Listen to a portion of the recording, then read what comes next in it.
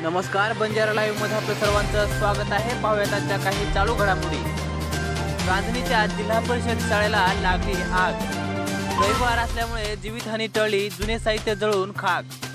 घनसावंगी तालुक्यातील रांजणी येथील केंद्रीय जिल्हा परिषद प्राथमिक शाळेतील जुन्या इमारतीला लागलेल्या आगीमुळे जुने साहित्य जळून खाक झाले. सुदैवाने आज रविवार असल्यामुळे जीवितहानी नाही झाली.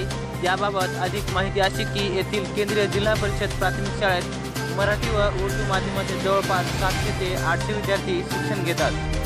आज दुपारी चार वाजता शाळेतून धूर निघत असल्यामुळे परिसरातील शेकडो नागरिक शाळेत जमा झाले. तिथे पोहोचल्यावर समजले की जुन्या मोडकीत पडलेल्या इमारतीला मोठ्या प्रमाणात आग लागलेली आहे.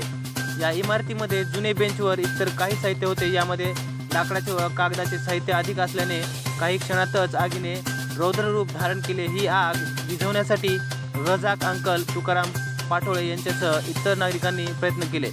परंतु इमारतीचा वरचा भाग खूप जीर्ण असल्यामुळे आग वाढतच गेली. सुदैवाने आज रविवार असल्यामुळे जीवितहानी झाली नाही. ही आग रविवारऐवजी लागली असती तर नक्कीच जीवितहानी होण्याची शक्यता होती. शाळेच्या वतीने ही जीर्ण इमारत पाडण्याचा अनेक वेळा प्रयत्न झाला परंतु यात ते यशस्वी होऊ शकले नाही. प्रतिनिधी आनंद आडे घनसावंगी जालना.